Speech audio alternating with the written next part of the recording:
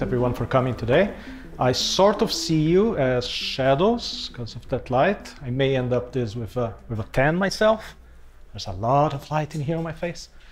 But uh, yeah, so uh, the subtitle of this presentation could be, as you can see from the picture, na na na na na, because the idea is that uh, sometimes we, we can try as much as we can, and teams will just not get on boarding uh, on board with the idea of uh, threat modeling.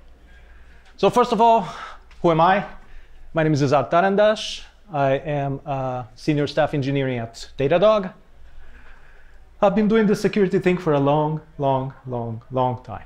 And uh, lately I've been focusing mostly on uh, modern SDLCs, how to put things like Agile together, how to get processes in place so that they can support uh, secure development and secure design.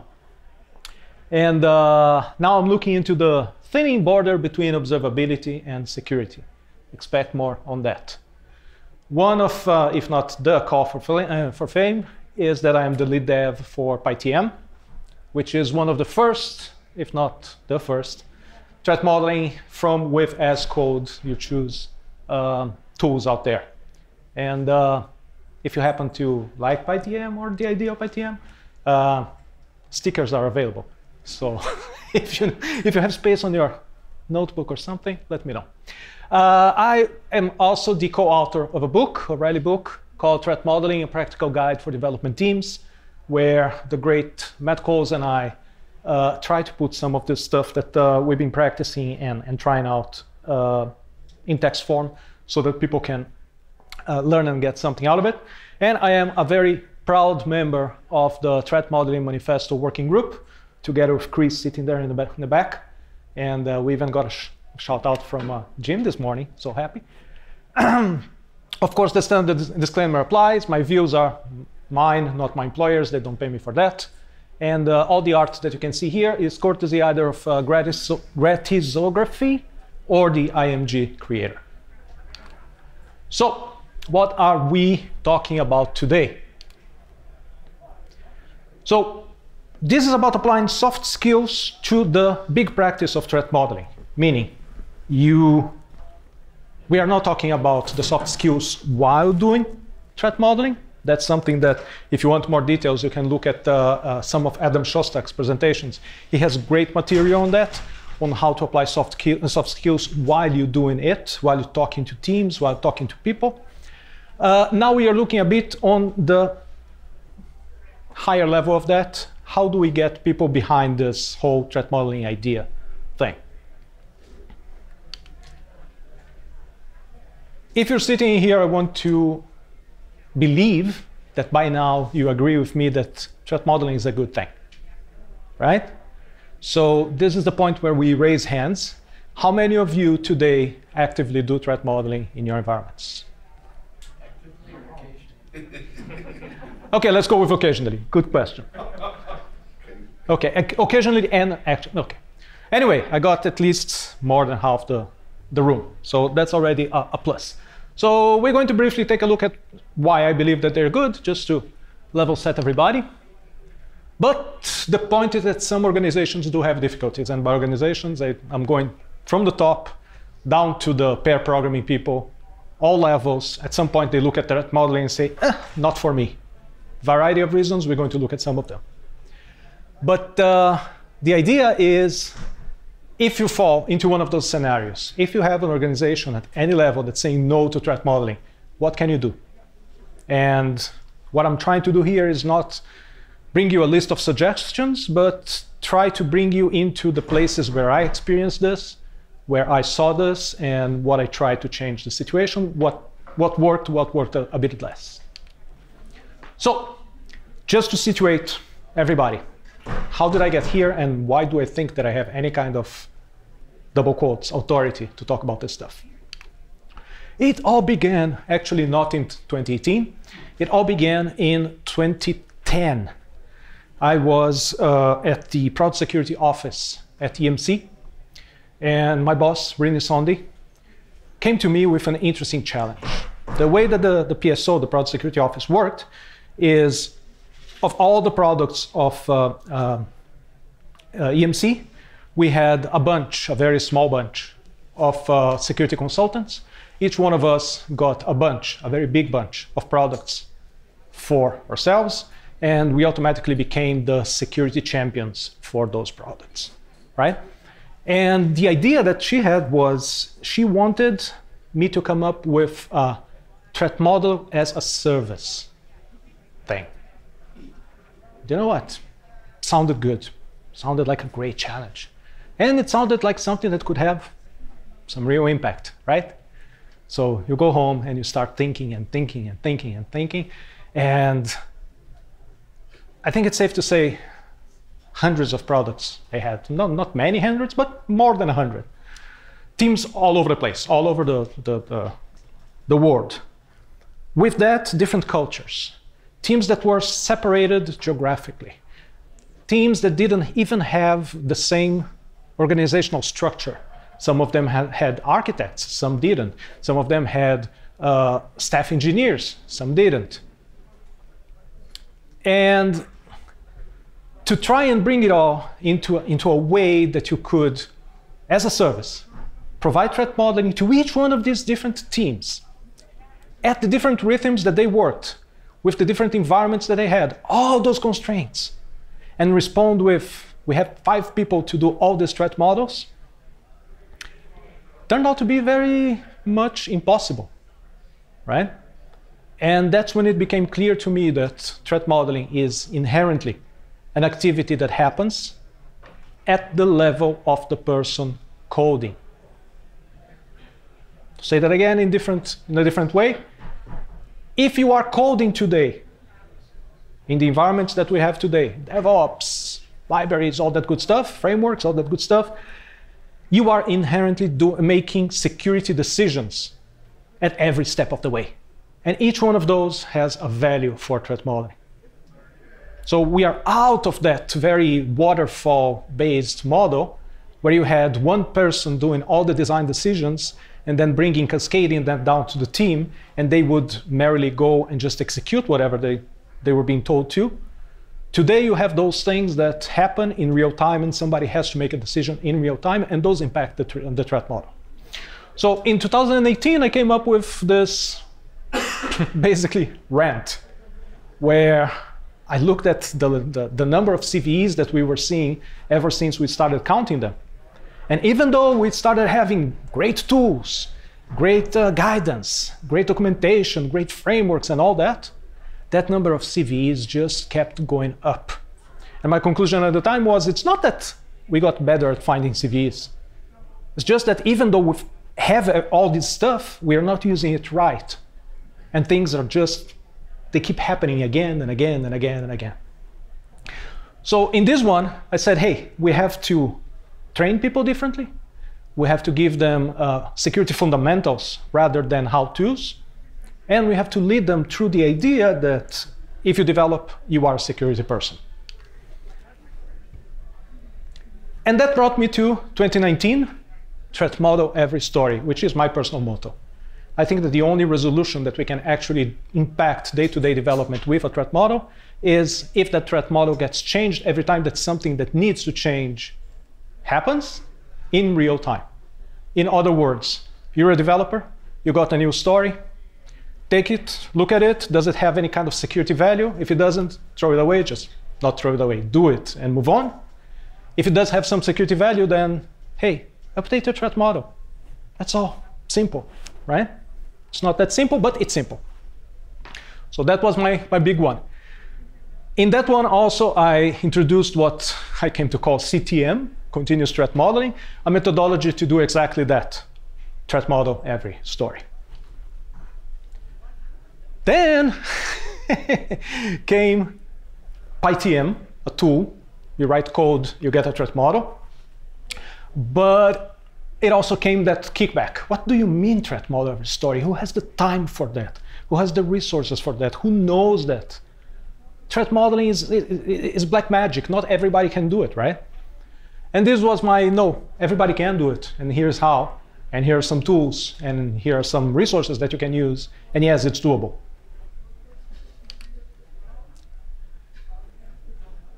And then comes, okay, Your team is doing it. That's awesome. You have the security team, you have your team, threat modeling is happening, you are even doing the continuous thing one way or another. But how does that translate across the organization? How, how does that go up? At this time, I was in uh, Autodesk, and Autodesk had 250 products, one security team. How do you scale that threat modeling? So at that time, we had already some numbers of applying continuous threat modeling to those, those teams. And uh, we were able to come in, present those, those numbers, show where the, the whole idea fell, things that broke, and how we fixed it, or how we tried to fix it. Shortly after that, again, with the great Matt Coles and, uh, and me at DEF CON, we decided to look a bit less on the threat side of things and more on the modeling. Why is it that teams sometimes say, I don't want to do a, a data flow diagram. I don't want to do a sequence diagram. These things are hard. These things take time. So what is so bad about modeling a system, especially when the system already exists? That's another barrier of entry to threat modeling that we looked at. And just a month or two ago, the Open Security Summit, I put forward this question to a number of people uh, attending. How is it that you fail a threat model? What causes your threat model to fail? Right? Two different questions, but interesting answers. And then I put everything together, and that's what I'm bringing to you guys today. Now, each one of these is uh, on YouTube. Feel free to take a look if you're interested. So, back to the thing. We know that threat models are good. In my opinion, first of all, because they give you clarity. Especially today, uh, I recently changed uh, jobs. And as soon as I got to the new one, I asked, okay, how do things happen here? What's the big design? What's, how, how do parts come together? And somebody put in front of me a diagram. And I looked at it and I saw that it was good. In other places, I did not have the same experience. I had people explaining to me, oh, we can't really do a diagram because, you know, there are some parts of it that are a black box and the people who wrote it are not here anymore and we try not to touch it just in case it breaks. So not really a good idea, right? But the practice of, of creating a threat model, both the modeling and the threat, they help give you clarity on top of things, how they work. You have, you find deviations from design, what uh, I, I call the eureka moments. That's the time when the whole team is discussing the, the the system and the chief architect is going on and on and on about how good how things are good. And then at the end of the, the room some guy some guy throws his hand up and say you know what? That is the design but because of the library abc we had some constraints and we had to change the thing around and you know it's not like that anymore and all of a sudden boom things become clear and people notice that yeah we, we have a problem here that we may need to look at the next thing is threat models help with a bunch of stuff. They help identify and mitigate issues at design time, whatever design time may be, whenever it happens. They identify constraints that you have around the, the development. Sometimes you can use this technology, you can't use that one. Sometimes you can de deploy here, but you can't deploy there. Threat models will help you figure that out. They help in other categories. They, a threat model won't give you just security stuff. It will tell you about resiliency. It will tell you about uh, uh, testing, about monitoring, things that are related in parallel to security, but that can benefit from the information that comes from a, a good threat model. And you know, when we talk about this DevSecOps thing, if you want everybody talking in one language, if you want everybody looking at the same thing, having a threat model is a great same thing for everybody to look at because it explains what your system is, how it was built, the things that uh, you wonder about, is this going to be working tomorrow? And really focus everybody around the same campfire, so to say. Everybody is speaking the same language because they are looking at the same thing in the middle. Now, perspectives on threat models. We have, first of all, us, security practitioners. We know what we're doing. We like threat models. And we can turn to something like the Threat Modeling Manifesto and even see a definition that we all can come together behind. Uh, it's analyzing representations of a system to highlight concerns about security and privacy characteristics. The words are big, the idea, very simple. We are all looking at the same thing, we are thinking about security, we are thinking about privacy, and we are trying to bubble up issues that may touch those two things. Now, together with that, the threat modeling manifesto adopted, if you guys haven't seen it yet, I heartily recommend. Uh, the threat modeling manifesto adopted what has been known forever as the four questions by Adam Shostak. Now, one of the things that every single time that I look at these four questions jumps to me is how Adam managed to get something that we can talk about hours and hours and hours, write Books, presentations, whatnot, and bring it down to four lines of short text that basically explain the whole thing. What are we working on? What's this thing that we're building? What can go wrong? What are we going to do about it? And did we do a good enough job? We answered this four, we have a threat model, and a good one probably. Now, this is how it looks for us. It's simple, it's good, gives results. Yay, let's go, let's do it. How does it look for them? It looks like work. It looks like unclear work. It looks like stuff that's going to dilate the way that they're doing things. It looks like one more thing that they have to do before they can actually go and write nice code that turns into nice web pages, that turns into a nice service, and everybody is happy. This is basically the thing that we have to overcome when we are trying to sell threat modeling as a practice. Okay, so two big questions on how we fail on this we can fail to threat model, and our threat, threat models themselves, once done, can fail. Let's try and answer the first one. How do we fail to threat model? People come to you and say, hey, this thing is too costly. It's taking time out of people, that time costs money. It's too long. Forget the money, it's just taking too long. The system is developing and the threat modeling is developing, and each one of them developing either in a different direction or at different speeds. It is too difficult. We have to bring consultants to do this thing. And the consultants don't know the system. Or we have this tool that does it, but the tool works in a certain way. And we have to learn the tool, and we have to learn the way that the tool works. And we have to adapt everything. It's too difficult. There's too much process. It is too conceptual. You're asking me to look at a design and imagine, oh my God, what could possibly go wrong? I write lines of code. I don't want to think about this conceptual stuff. It is to security, right? You need somebody who actually knows security to talk about security because if they don't security, then security doesn't security the secure thing that is insecure because it has no secure, right?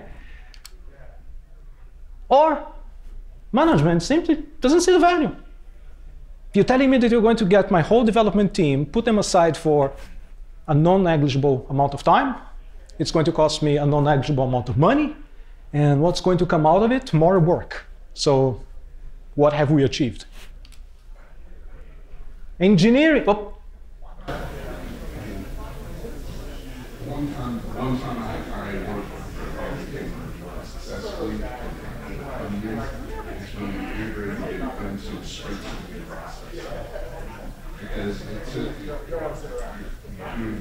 doing so it breaks everything down into smaller chunks. So it just becomes a story within your sprint uh, to make it happen anything. It's not too costly, it doesn't take too long.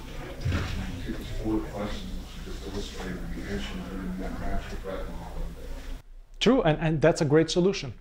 And in fact, I think that it's an approximation of what Microsoft said to do with their normal loop when they said, hey, the agile way of doing this thing is to get one, one sprint ever, ever so often and do it a threat modeling sprint, right?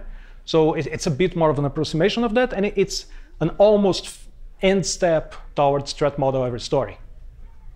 So yeah, I, I would totally go there with you.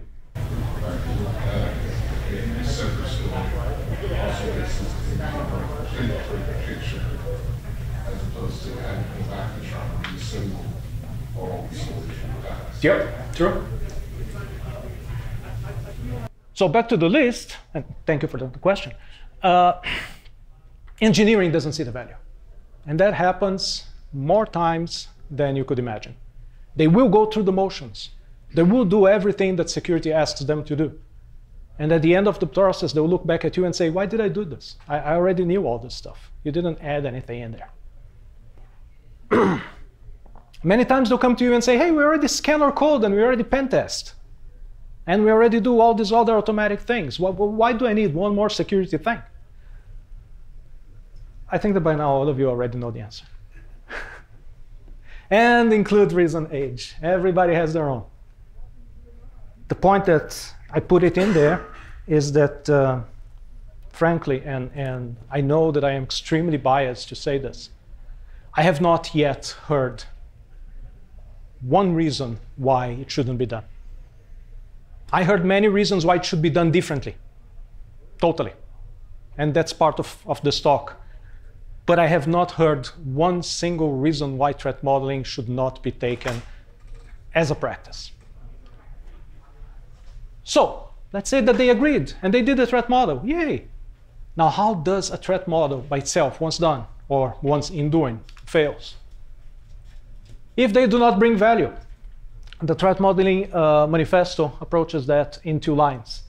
They do not lead to improvement in the security posture, meaning, yeah, you went through the motions, you did the whole thing, but now you are not in a better place that you were before. You don't know more stuff about your security than you did before. So basically, you forgot to bring value. And you entered the uh, anti-pattern of the hero threat modeler. Instead of taking your whole team and getting all of them involved in the process of threat modeling. What you did was you called Joe and said, Joe, you are my senior developer here. You know where all the skeletons are buried. Why don't you go for a week and come back with a threat modeling? It's the, the, the Moses in the mountain thing. He went out, he took everything he knew about the system, he brought it back. And you know what? That's a threat model of a system as seen by one person. And if anybody in here is familiar with the uh, parable of the elephant and the three blind men. I'm not going to go into details, but what they expressed is what they see in there. It does not mean that it's the total of the system. Then you have the admiration for the problem, meaning somebody got that task or a team got that task of that uh, threat model, and they kept staring at it and staring at it and being so engrossed by how we do this thing, how do we start, how we do we know that we finished, how do we know that it was good, that they end up with something that is more of a, a we really, really tried than an actual threat model. A failing threat model does not express threats at all.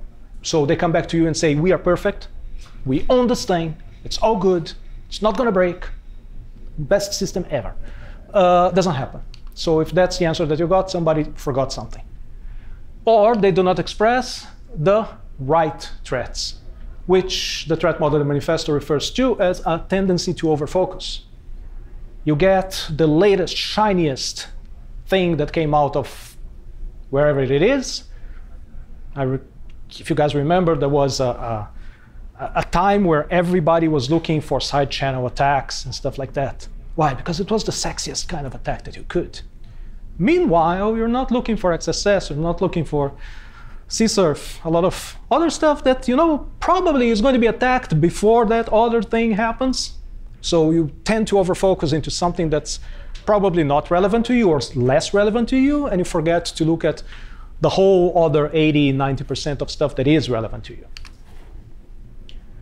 If you have a threat model that does not represent the system, and that goes together with the uh, hero threat modeler, which is it's one pers person's uh, view of the system, not everybody's, or you fall into the perfect representation anti-pattern.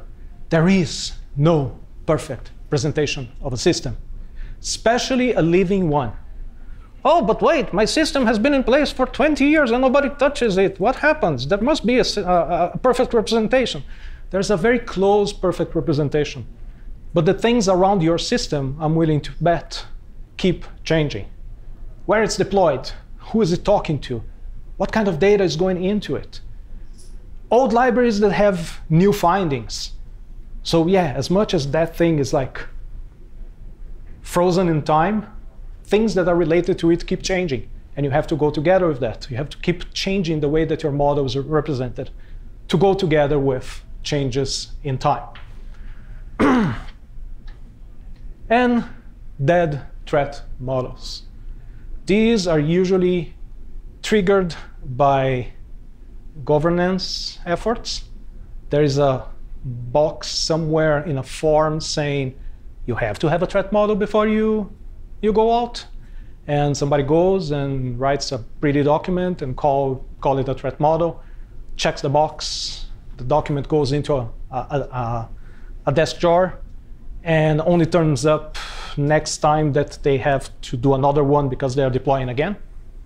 So that to me is the saddest one because people put, put effort, put time and money in there and did not get absolutely any value of it apart from that check in a checkbox.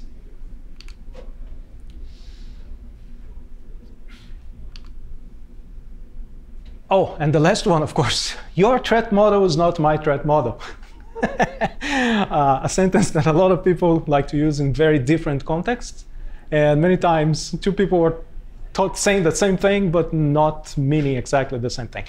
But the, the fact is that sometimes, and this is something that I see a lot, people will say, hey, I was asked to create a threat model for my system. Can I look at yours? Yeah, you can, sure. You, you can be educated by it, you can learn about my system by it, but that's not going to be your threat model. You, you're not just going to change the name on the top and automatically that's going to become your threat model. A threat model is something that's extremely focused on whatever it is that we are building, if you refer back to the four questions, right? So to just go ahead and get something that remotely looks like and say, oh, that's mine. I'll just change the name of the boxes, a couple of data flows, and everything's good. Probably not. So make sure that your threat model is your threat model. So what is the problem that we are trying to solve here today? What, what's the thing that I'm trying to bring to you guys? Now that we know how threat models fail, and now that we know how we can fail to threat model. The problem again is organizations, teams, even developers that don't want to threat model. Now I put the want in big letters there just because it uh, strikes like stronger. But the fact is that uh, there are some who can't do it as well. Now, uh, this URL here is uh, an attempt of mine to get out of the uh, writing to security people and instead write to developers. This site here, leaddev.com, if you don't know it, awesome site. Seriously, they, they have amazing stuff there, but it's more about engineering than security. They do have security content, but it's more like this. And in this blog, I, I, I try to write a bit about my experience as a security practitioner, as a security consultant, as a security, big quotes, champion for teams, and what I experienced trying to move them along uh, their security journey. And uh, in there, I just put it out, you know, this thing is like selling insurance. Nobody wants to buy, nobody wants to pay the costs. But as soon as something happens, they do want to get the good part of it. And by adopting the perspectives of the decision makers, we can grasp how they are likely to perceive our plans and attempts at persuasion. Meaning, if you want to convince something to do something that they are really, really, really against doing because of any of those reasons that we, we went through, the first step to actually changing their minds is not creating a better argument because they are set where they are. In my opinion, the first step is to put yourself in their place why is it that they are feeling it? Why is it that they, are that they think that they are under these constraints? If they really are under these constraints, what can I do to help them move away from them? Do I have to go one level up? Do I have to show a different way of engaging the whole thing? And that's called perspective taking. Uh, I am very lucky to be uh, married to a professor in uh, uh business and uh, she pointed me towards perspective taking when I started telling her what is it that I'm doing with people that I have to convince and what kind of argument I'm bringing to the table. And she said, Oh, you know what? That actually has a name. And if you go and get informed and learn a bit more about it, you're probably going to be a bit more effective on it. And amazingly, as wives do, she was right. So, once I tried to apply perspective taking to my security practice, what was it that I figured out? That the first step was to tailor the pitch, which is marketing 101, right? You want to convince someone, you want to start talking in the, the language that they want to, to hear, that they, they are used to, to hear. So you avoid doom and gloom.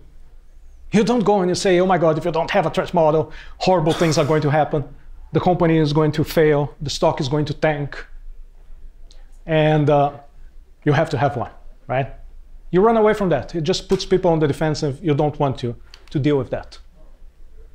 You show them that there are some things that come together with this goodness that the threat model brings to security, which again is the clarity, is the inclusion, is getting everybody's voice represented in what the system is, what it does, and what are the bad things that could happen to it.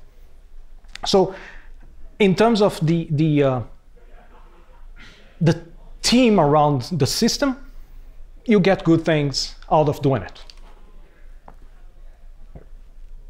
Uh, another thing on that note, uh, Brook Schoenfield, another person in threat modeling that you guys should know by now. If not, go do it.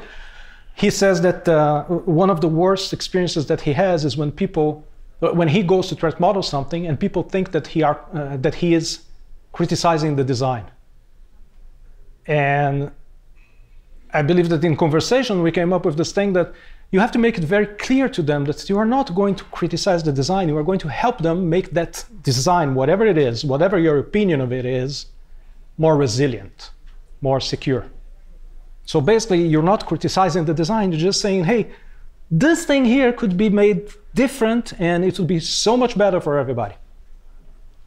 then you have to translate into what they have to gain apart from security, which again goes to the resiliency, to the monitoring, to the auditing, stuff that is, again, ancillary and connected to security, but it's not security per se. It's not, I'm saving you from cross-site scripting. It's, I'm giving you a framework that you can use to make other efforts around the system better.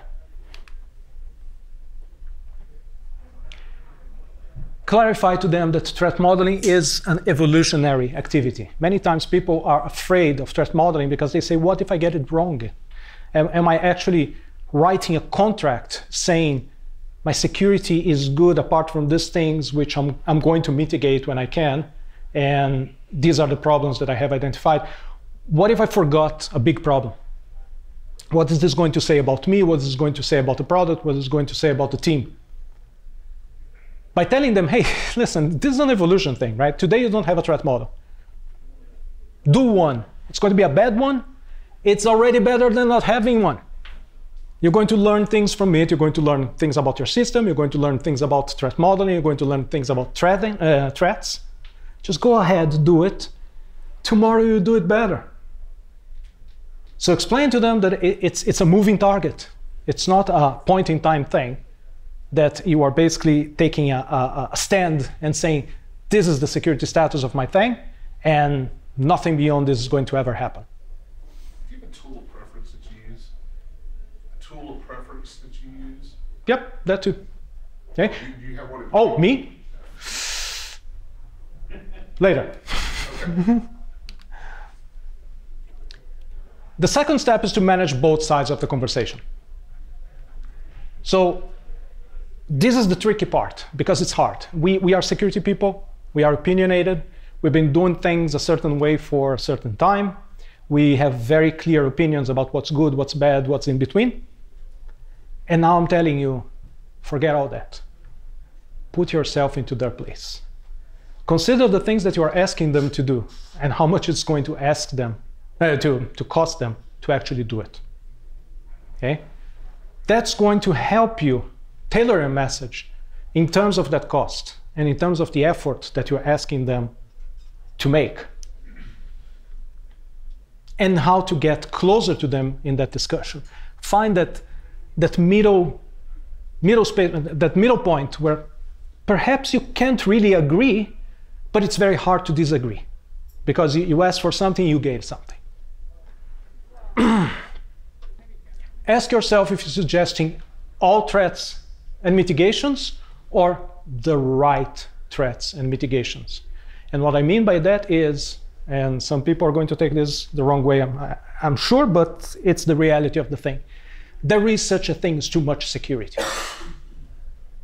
Not everything is Fort Knox. Okay? You don't have to defend everything like the crown jewels. Sometimes you can be down here and that's enough. So recognize that, and whenever you're tailoring the pitch, make sure that you are selling the right size of security and not the most absolute security thing that you can ever imagine. Suggesting solutions rather than giving instructions. Again, you're taking their perspective. They are going to be, and by they, I'm using a very, very generic developer archetype to talk, okay? People usually are less responsive to someone telling them, this is how you're going to do it, because there is a, a, a an understanding of this is how you're going to do it because I know better than you. And I don't know if you guys ever saw a developer. They don't like that kind of thing. So tell them, hey, here's a suggestion. This is how you could do this in a secure way. Can you find the way to make that fit your view of the world, your model of the system? So telling them, I've seen this work in a different place. It was very similar to yours. It's not exactly the same one. So you're going to have to do some thinking. You're going to, to, to have to adapt this to your reality. But here's something that I saw working that gives them just the right amount of information for them to start their own journey into what is their solution. You also get ownership out of it. It's not, oh, that thing broke. The security guy told me to do it. It's like, oh, that thing worked. Yeah, because I got the thing that the security guy said, and uh, hey, it works. Fun for the whole family, right? And at the end, finding the right time to push. Hint, it is not when everybody is running around because the system doesn't work for some completely unrelated reason. It is not two weeks before deployment. It is definitely not during Hack Week when everybody is trying to do their pet project. Finding the right time to push is one of those things that's going to be extremely dependent of the organization itself, of the timing of the project, even the temper of the people involved, right? They, they will have their own rhythm, and you're going to have to identify that rhythm and insert yourself into it. So find the right time to come and, and put your thing on the table. But okay, so I talked a, a lot and I moved my hands around a lot. But what am I actually telling you guys worked for me? I was in an organization. I tried everything I could, some things that I even don't agree with.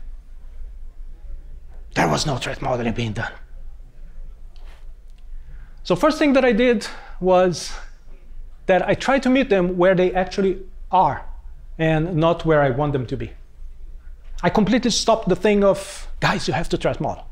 No. Guys, it's okay. You're doing your thing. Awesome. Let's go there. Let's see what we can take out of it. Every organization has some kind of document, an RFC, a design document, an architectural review, whatever, that basically, uh, basically uh, defines what is it that's going to be built or what's already being built, and basically where the, the discussions happen, where people comment on the document or they have a meeting and stuff. If the organization that you don't that you are don't have that, there are many who are hiring. So you have other problems than threat modeling. But most of them do have something like this. Make use of that thing. Two, add a template with a very simple question. What could possibly go wrong? Now, it's a very simple question.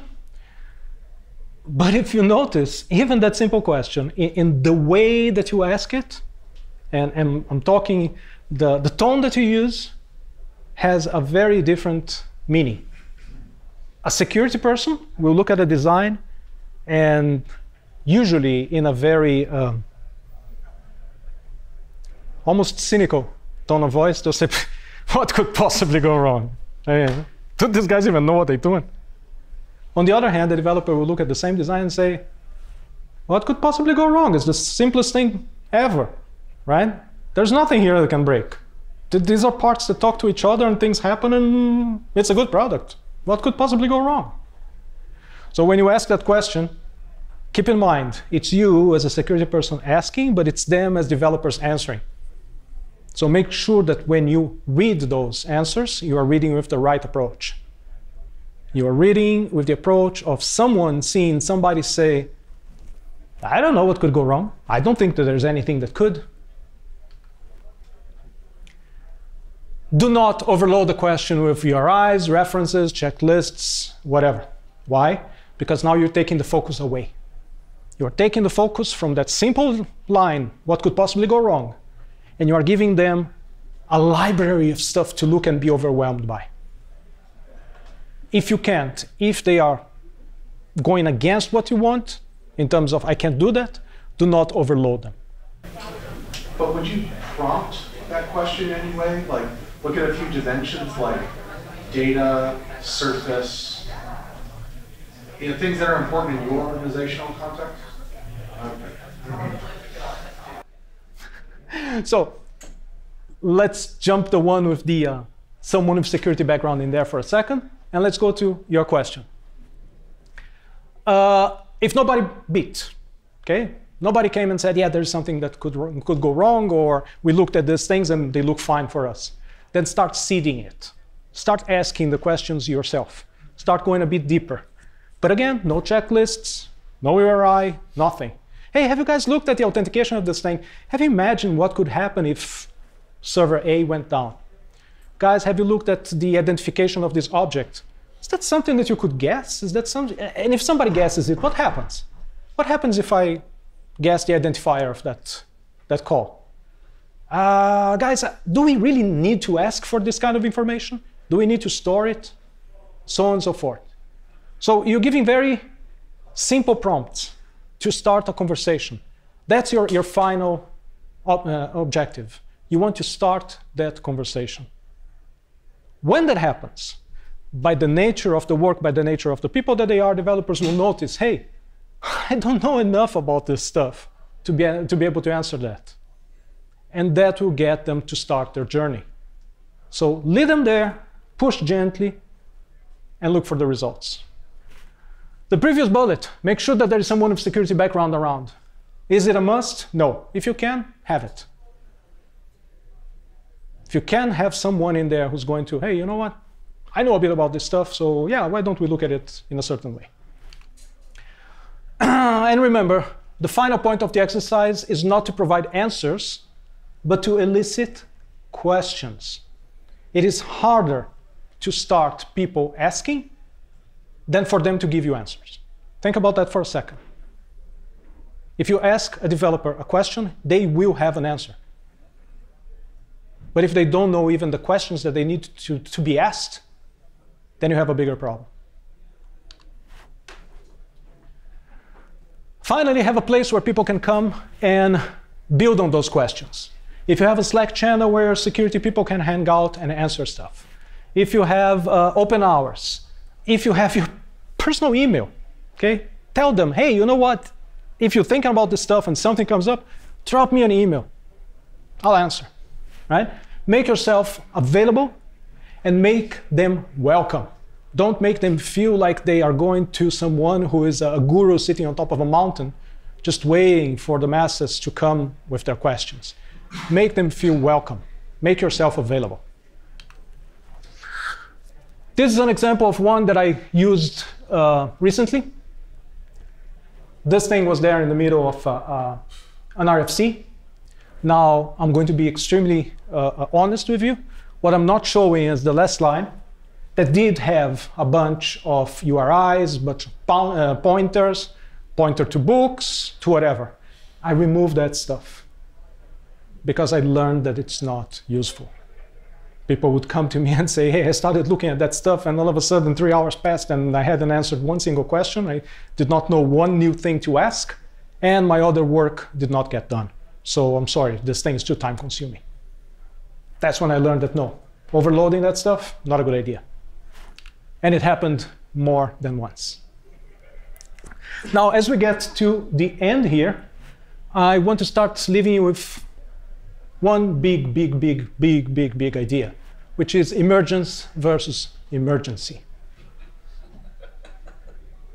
The emergency here is I did not think of all the things that could go wrong. One of them surfaced, beat me.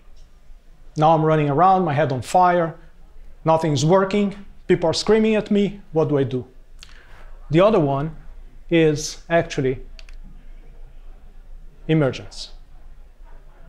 Just by asking that one simple question, one of the four of Adam's questions, repeatedly at different levels, at different times, first, you are going to be known as a very, very boring person because you keep asking the same question.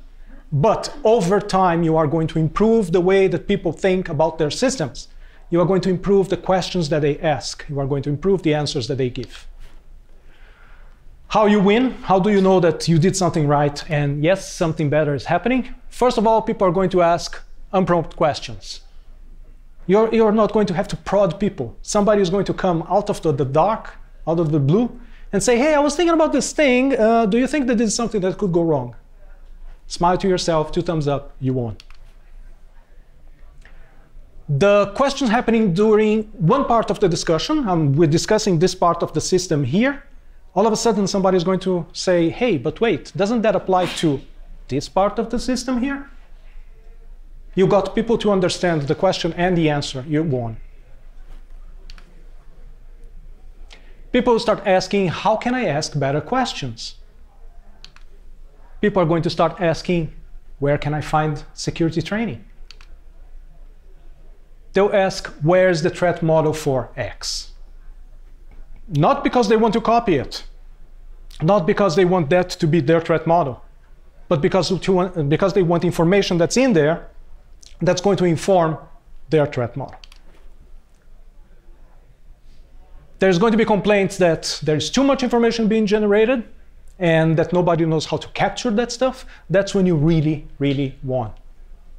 Because that's the point in the life of that organization that they are asking you to create a repository of threat models, a template that people will use to put all that information that's being generated. And then all the other questions get answered by having that. People will be able to search that repository, people will be able to find information. People will be able to say, hey, somebody has not touched this threat model in two weeks and the system has completely refreshed. Somebody has to look at this. That's when you really know that you won. Takeaways. I love this picture because, first of all, I did it, and second, uh, because I really consider that the threat model is a hanger for many of the other activities in the SSDLC. You want to inform your secure design, of course, you need a threat model. You want to look at your implementation in more detail, understand how that system actually works. Your threat model is there for you. You want to do better security testing. Hey, what are the things that I identified as possible threats to my, to my system? Those are probably good things to start testing. You want to check your deployment. You want to talk to DevOps people and say, hey, this is how I need this thing, this thing to be deployed. These are the permissions, these are the resources, so on and so forth. Your threat model is there to inform you. you can make it work. Like everything in life, it's going to take effort. It's all about understanding your customer. And many times it is about understanding who your customer is. Sometimes we think that it's the developer. Many times it isn't. So you have to read that situation. You have to figure out who is it that you are there to serve. You can't force people to threat model, but you can't show them that they are already doing it without knowing. Again, the evolutionary thing. Set the expectations. Let people know you don't expect perfec perfection right away. It's going to take time, it's a process, it's going to take learning. But you will get better at it. Bad threat model is better than no threat model at all. Many different reasons. Don't get hung up in the process. As somebody who has published a methodology, I'm going to go, go forward and tell you, read it, be informed by it, don't be constrained by it. Read about the different methodologies, and God, there's a lot of different methodologies out there. Find the bits and pieces that work for you in your organization. Develop your own. Find the thing that works for you. Sounds complex? Not really. If I, if I can do it, anybody can do it. But do take that time. As practitioners, find the way that threat modeling works for you and understand every time that you change organizations, development teams, whatever, frameworks, you will probably have to adapt that way that it works for you. So find your own style, find your own methodology, use it. Turn threat modeling into a verb. Don't say, give me a threat model. Say, hey, let's threat model this thing. It's a difference in approach that takes something absolute, a package called a threat model, and you just made it something that happens in a continuum.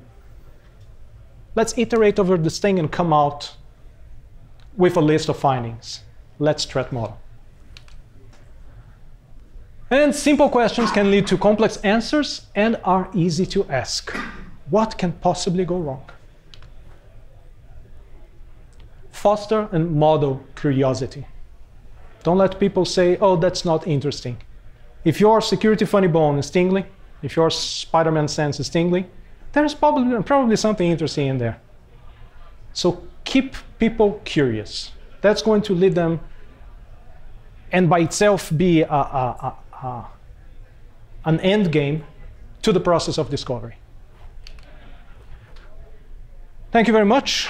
A couple of uh, resources. We have the Threat Modeling Manifesto. We have uh, Matt's and, and mine book. There is one by Brook that I think that it's, it's really mandatory that's securing, uh, securing systems, applied security architecture, and threat models. We have the one that started it all with uh, from Adam. This one is a really good one because it covers the whole SSDLC in uh, modern ways. So it looks at the agile thing, it looks at how you can get those things up to the speed that you actually want to. And here in the end, we have Secure by Design, which is really, really a good read on how to apply secure design patterns to your development. Questions, anything? I believe I have six minutes more. What, what tool do you prefer? Use Microsoft's tool before, and it's like really cumbersome. So I was looking for something a little bit more scaled back. So here's the thing, okay, and, and let me prefix this by saying one thing. I have huge respect for people who write threat modeling tools. Huge. They are there helping popularize things, make it accessible, make it organized. Unfortunately, the way the tools are today, the state of the art where we are today, to me, it's like driving forward, looking on the rearview mirror. You have this set of rules, this set of things, and those are the ones that you're going to find. So if you fixate on a tool, on the output that the tool is going to give you, and uh, consider that the whole thing, you are missing a whole lot of what threat modeling can give you. So I would say use the tool that best fits the way that you work. Don't let the tool tell you how to work. But once you have the answer from that tool, expand on it. Don't just print that report and again, it's a dead threat model, goes in the drawer, that's it. Look beyond what the tool is giving you. Many of the tools, like many of the other security tools that we have seen along the years, are going to give you false positives. So learn to figure out those. The Microsoft Threat Tool is a good example. It's, it's a great tool It's, it's really something that I would give to somebody who's just beginning. But it's going to give you 300 times the same thing just because you happen to have one data flow that doesn't have HTTPS. Okay, so no tool today, to my knowledge, is able to give you the whole thing from A to B. And remember, threat modeling is a conceptual process. So hard rules are not going to give you all the results that you want. Yeah. Anything else? Hmm? Nope. Okay, thank you very much. Oh, sorry.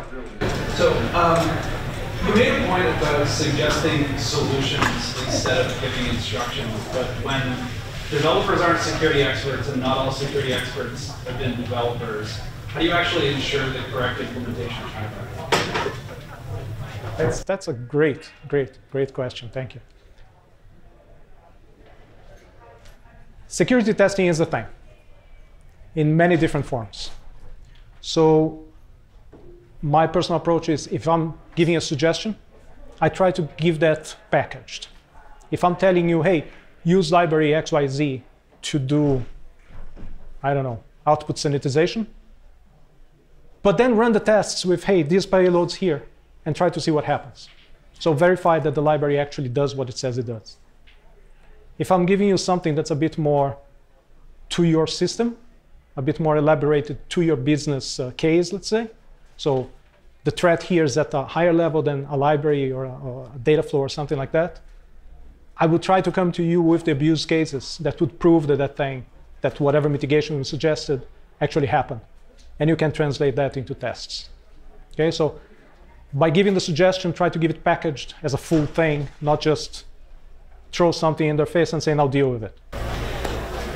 Okay, so then when you look to structure the feedback loop for how good of a job did we do, um, how do you actually link that back to like the threats and countermeasures that were identified on the other side and providing these use cases?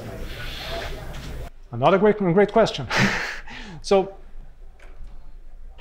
my personal interpretation of, of that last question is more of a meta thing. Let's look back at the process of threat modeling and see if it worked better. But what you're saying is perfectly valid. How do I know that the threat, and correct me if I'm interpreting you wrong, how do I know that the threat model actually brought value? Right. That's what, that's what the business wants at the end right. of it, right? They want to say, was this a valuable investment of time? And can I prove that this resulted in a quantifiable reduction in vulnerabilities or reduction in risk? Like the business speaks risk. Yep. So when we can bring that back to, hey, this exercise that we did resulted in X number of reduced vulnerabilities compared to uh, whatever we were doing before or, or not doing before, whatever that past model was like. So here's the thing. what you're trying to do is parallel to proving a negative. There is a universe of vulnerabilities in there. I did something, that universe now is a very small set of galaxies. That's basically impossible to prove. But if you look at the results of tests, and here I'm throwing threat modeling as an activity happening in a system that already exists and that there is already a framework around it. If you look at tests before and after, and you can say, okay, before I had a lot of findings on cross-site scripting. And then during my threat modeling, I came up with, of course, for us obvious, but for, for others less, that cross-site scripting is a problem and that because of the frameworks that we use, either there is some flag that we can turn on, or there is some filter that we, we can put in, some library that we could, can put in there, and all of a sudden, all the good things that need to happen for cross-site scripting to go away happened. And now we don't see cross-site scripting at all. So by changing the design or by changing some of the elements of the design, we completely obliterated one class of findings. And believe me, there are enough the way that I say is everybody can do it. No, not everybody can do it, but there are enough examples out there of times when it was done. And those are the times when you see that, hey, we completely changed the, the, the, the, the landscape here because threat modeling identified one change in design that's able to obliterate that whole kind of, of bug. So you, you're not speaking in terms of hard quantities. You are speaking in terms of I'm giving you time and resources to focus on other things because you don't have to look at these things, right? So that's one way of explaining. Another problem here is, and this could be a talk by itself. You have findings on a threat model. Now you have to order them. What do I do before? Oh, let's talk risk. No, let's not. Let's definitely not. Okay? Because risk is probability times impact. You don't know what the probability is, you can only guess what the impact is. Let's talk priority. Okay? What are the things that, with a security point of view, are more important for you to fix now than those others? Have a clear story of why are those more important, which could be based on the exposure of the things behind that thing, um, how close it is to the top of the attack surface. Uh, again, one fix fixes 10 of these. So I probably want to put some time into this before I do the one outlier case here that needs its specific thing, right? So try to find factors that are important to you that explain what the priority of each one of the findings is, and keep banging on those. Okay? Thank you. Thank you.